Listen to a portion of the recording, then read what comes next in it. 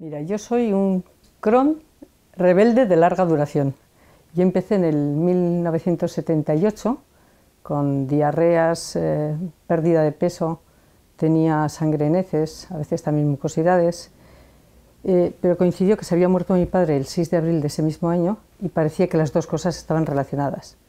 Entonces me decían que, bueno, que tenía todo nervios, que tenía que tranquilizarme. Bueno, cuando yo empecé a mirarme en serio y me hicieron una colonoscopia, gastroscopia, analítica, eh, me enviaron a quirófano con un diagnóstico incierto, no se sabía bien bien qué era.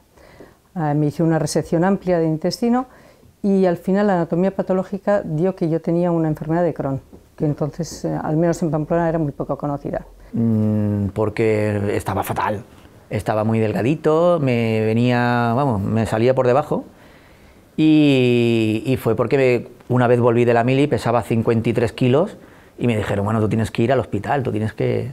Y, ahí fue donde, al hacerme la primera conoloscopia, salió, salió todo. Yo no sabía ni lo que era un Crohn. Yo tengo colitis ulcerosa. Me la dictaminaron hace ya unos casi ocho años. Eh, bueno, empezó todo como si fuera una gastroenteritis, o al menos eso era lo que, lo que yo pensaba. Antes de, empezar con la gastroenteritis esta, que yo pensaba que era eso, eh, me empezaron a salir muchas llagas en, en la boca, unos, unas semanas antes. Y entonces, bueno, se me curó y luego eh, tuve esta, este, lo que yo pensaba que era gastroenteritis, me encontraba indispuesto y, y bueno, eh, empecé a hacer yo mismo una dieta de blanda, ¿no? lo típico de arroz hervido, etcétera, etcétera. Y bueno, pues entonces después ya llegó lo que era la, la sangre, ¿no? cuando iba al baño. Y bueno, pues entonces eh, fui al, al, médico y bueno, pues me tuvieron ingresado unos días en este caso, bueno, pues fue en, una clínica privada y luego ya, eh, con que no, no encontraban el que era, me tuve que ir corriendo a la, a la sanidad pública. Y entonces allí, después de, algunas pruebas más, pues entonces ya dictaminaron que era lo, lo que tenía. ¿no? Uy, yo fumaba, fumaba todos los días. Eh, desayunaba, me iba a tomar el café con leche fuera de casa y después del café con leche me, fumaba un cigarrillo y iba corriendo al lavabo. Tenía un despeño diarreico. Eh, pero yo aquello no quería relacionarlo con mi enfermedad. Mi día a día ahora mismo es de lo más normal del mundo. Lo único, al principio yo sí que tuve muchos problemas porque mi Crohn sangraba y de vez en cuando pues le daba por, por, por sangrar y darme un dolor horrible. Pero yo ahora mismo, desde que dieron con un tratamiento así con el Imurel y tal, puedo comer de todo, puedo hacer vida normal, yo hago deporte, eh, salgo, bebo, no fumo porque ya no fumo, pero vamos, cualquier chico de mi edad que tengo 40 años hace lo mismo que yo, incluso a lo mejor hace hasta menos. Medicarme cada ocho semanas, que, que eso es impepinable y tienes que estar ahí, porque bueno, lo que te diga el médico tienes que estar ahí.